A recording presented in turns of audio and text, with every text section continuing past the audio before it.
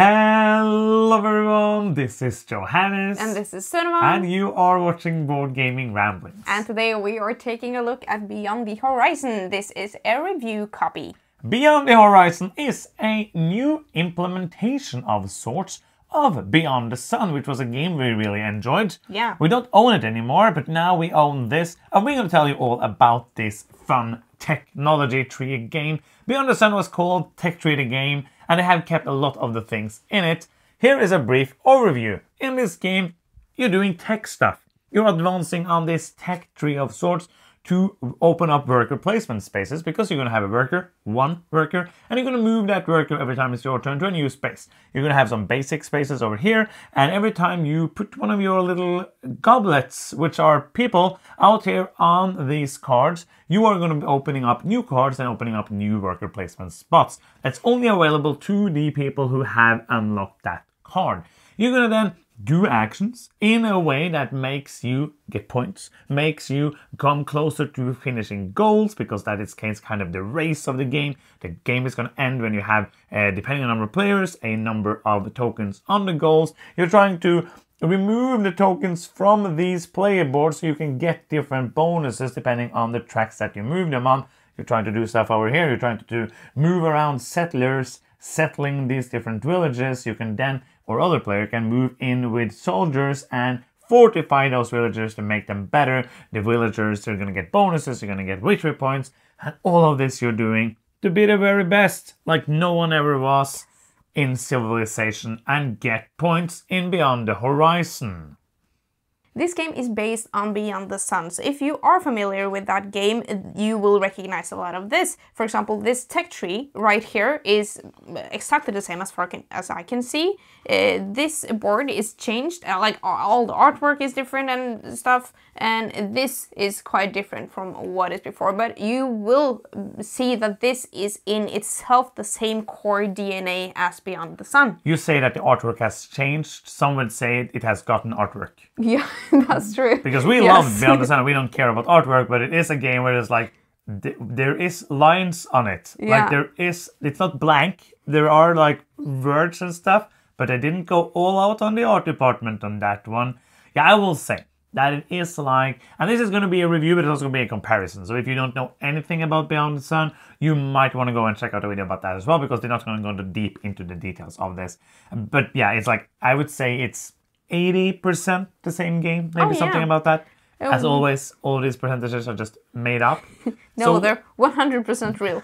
Yes. As everything else. Let's talk a bit about the changes. Yeah, one of the main changes about this board is that the level 4 techs mm -hmm. are visible and set from the game's beginning, which I really enjoy because you in Beyond the Sun, the the person who like unlocked that mm-hmm. level four uh, chose some like had some options and then got to choose the final scoring mm-hmm. but here you can from the very beginning see I like that scoring. It really matches with my ability or the other final goals and be like, I'm going for that. Yeah, and that also makes it so that it even more feels like a race game. Yes. You know, just not, you're not racing to get to choose it, you're racing to get to it to, to be able to score it at the end of the game.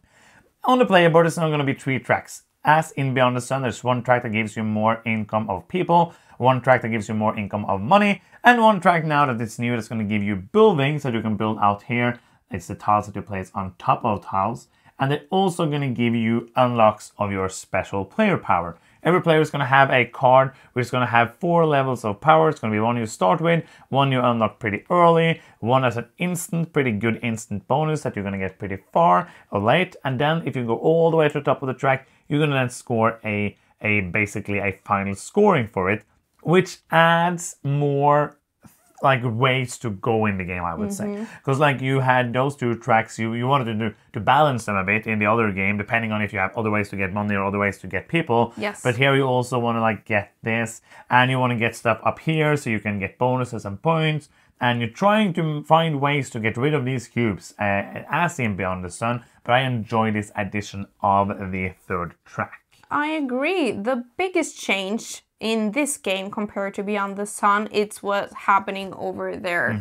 Because in. What the, is happening over there? in, what is happening What's over happening there? over there? Uh, so this is an area that you can expand, and you most likely will in this game.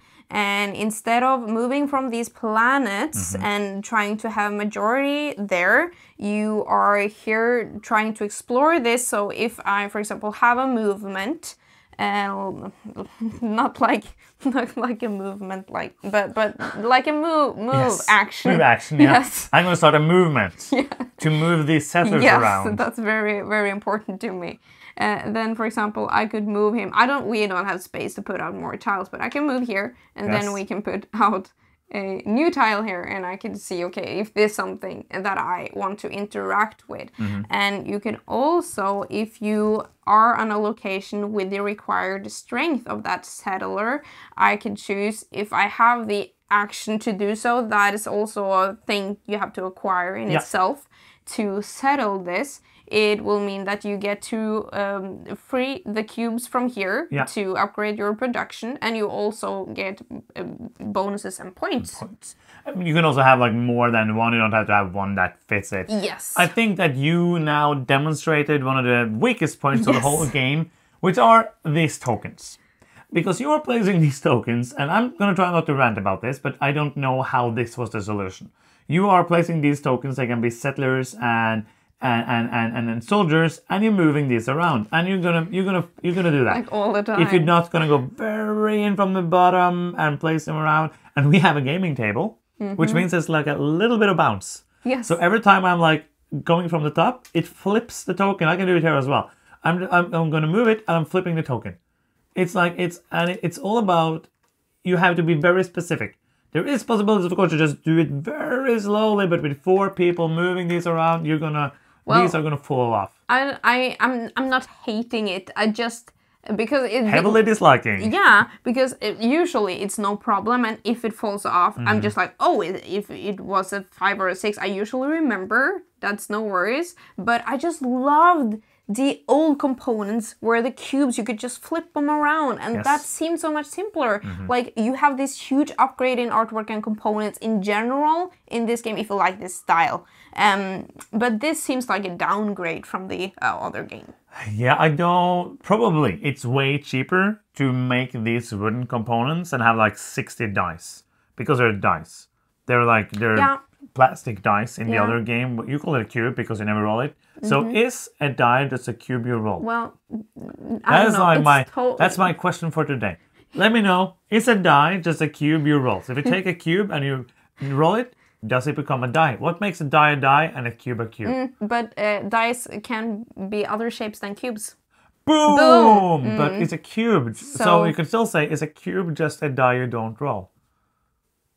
A d6 then. Yeah. So is a cube just Okay. A question for another day. Another day, Uh, another. We're gonna what, make a podcast series. Yes. Is a Cuba die? But what I wanted to tell you about this it. is that, that this feels similar but different from uh, Beyond the Sun. Mm-hmm. But uh, I feel like there's less mean player interaction um, in in this part, uh, but also that you have like it's more about timing Mm-hmm. because you can you have freedom to do a lot of stuff here. In Beyond the Sun, you had these planets. That was it. Yeah, you're getting you're getting new planets when somebody takes the planet. So there's cards. Oh yeah, yeah, but like locations is what I meant. Okay, sorry. But here you can like branch off. If you're over there, I can go somewhere else. Or if you're over there and trying to settle it, I could come in and fortify it if that's important to me. Yeah, and, and, and you could do like some of those things in Beyond the Sun as well. But I feel like another change is the buildings that you can build on top of tiles. You can use that also to build on top of something you think somebody wants to do. So that can be a main thing you want to do. Oh, that's true. Now, when you build there, you're gonna again get to move a cube away, which is good. Get a bonus, and then if somebody else comes around and build the same building, which they can do, you can also get some points at the end. So there's some like trying to get some interaction there. I would say like in a two-player game, probably won't happen a lot if somebody not build like a super good building that gives you everything you specifically need. But other than that, it's gonna happen more in a multiplayer game. I also feel like it can happen that except for the beginning when you have to move toward each other, it's very easy for me to just move this way and you to move that way and mm-hmm. have our own spaces. But I think it's better when you don't do that because then you can oh, somebody is doing heavy on the settlers, I'm going to go fortifying these places to not get the bonuses, but I'm going to get the points. So there's many, I, I feel like this is dynamic and I enjoy it. And it's, it's, it's similar, but not the same. I think this game is very much alike to many video games with tech trees. And if you always wanted to do that in a board game, I think you are going to enjoy this. Obviously, if you like Beyond the Sun, you're gonna look at this and you're gonna probably know if you think this is an upgrade or a downgrade. I think it depends on what you enjoyed with Beyond the Sun. If you enjoyed it for not having artwork, uh, you will not like this. I think that most of the changes, some of them I'm like unsure or don't really know. But for example, I really like these changes. So look at the changes, you will see if you need to upgrade or whatever you want to call it. Or if you never wanted to get Beyond the Sun, I think this is going to be probably easier to find. Mm-hmm. I heard Beyond the Sun it's way better with the expansion, but I'm also pretty sure that is out of print, so I don't think you can get it. Uh, it's a racing feeling game. Yeah. So if you enjoy that feeling of not like a racing around the track, but oh, oh, I need to do, be efficient so that I get to do the things I need before the game ends. And this is also one of those where you feel like this game is going to last forever because it's those goals, and then suddenly, boom, boom, boom, it's done. Yeah. Because everybody's working towards it, and you don't really feel it, and then boom, boom, boom and you get to the end. Yeah. So I think we are going to do some final thoughts for this game. Before we do that, there is one thing I have to ask for you, which is do you like us? Do you think that we are okay? We do everything we can to be okay and more. And if you if you do like us, then you can subscribe. Yes. So if you haven't subscribed, does it mean you don't like us? Because that makes us sad. Yeah. We're all the way in Norway. It's cold we don't have anything to live for except for getting subscribers. So please subscribe to us before we cry. And now, some final thoughts for Beyond the Horizon. That was kind of dark. We, we, we're fine. Uh, I thought you were going to say. if you are here against your will. we're like stuck in this cellar. We have to make read videos and we have to get like 20,000 subscribers or else we're never yeah, going to get Bob out. is keeping us here. Yes. Well, um, I was thinking you were going to say uh, we're outside of your house. Oh, no. Subscribe now, but Yes. we're far away We are. in Norway, so you if do you don't whatever live you next want. door, then we're pretty close. That's true. Okay, final thoughts. Um, I like this. I, I really enjoy Beyond the Sun too, and for the Oh, same two? Number two? Haha. for the same reasons because this thing like the worker placement with one dude like moving that around i think it's fun and but what makes this game is this and i really think this is a clever mechanism or system because i really enjoy being like hmm okay these two me- these two technologies are together here okay i will make a strategy that revolves kind of around these two and sometimes i don't want this ability but i want to unlock this. So therefore i'm going here and trying to and also if i see you're going kind of up here to do something you might unlock something over there that i think is really cool but i'm over here doing stuff. Am i then justifying like unlocking all of this to be able to do that action like twice? Mm, um and also, it feels really racy, uh, like you're racing for it, because uh, if these two players can both do this now, if I am the person who flips this first, I will most likely get something good. So I want to be able to do it first, and also I can choose what card that I benefit from having here. So um, I think this is really cool. I think this change I, I enjoy that, but that part of the game is not why I play this game in general. I think this is the most exciting. I think the extra track is super cool. I think having these uh, different uh, player powers is nice, but what you tr- need to do in this game, as I learned the hard way, is trying to see what of these work together and also what's working with the final scoring at the end of the game. So, um, yeah, um, a lot of positive things about this game. I like this. I think I would say like this as on par with Beyond the Sun for me. I'm going to give this an 8. I think it's a great game. I like this game. You said a lot of things, so I can just say like I agree with your things. I don't need to repeat those things. I think one of my favorite changes is these are face up. So you can plan for those.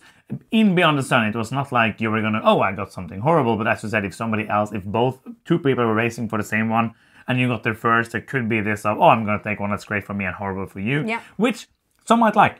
And, and but it's like in one of those games where it's so much of the game, I don't think I enjoy that. But yeah, I this is is fine. I and this is like the meat and potatoes of this game and makes the puzzle interesting. So I'm gonna give it an eight as well. I really enjoyed it. And now let's do the paddle. Hmm. Do the paddle. We should do a song like do the paddle. Are you ready? Okay. And a dance like a TikTok dance. The Like paddle. the Mario dance? Yes, do the Mario. Take your hands from side to side. Come on, it's time to go do the Mario. No, do the Okay. paddle. Oh, do the paddle. Okay. Yes. Are you ready? Yeah. One, two, three. Boom! Double keeping all the way across I thought it was hard because I culled Beyond the Sun. Yes. You kind of did too. But now you kept But now I'm keeping it because I think it's fun.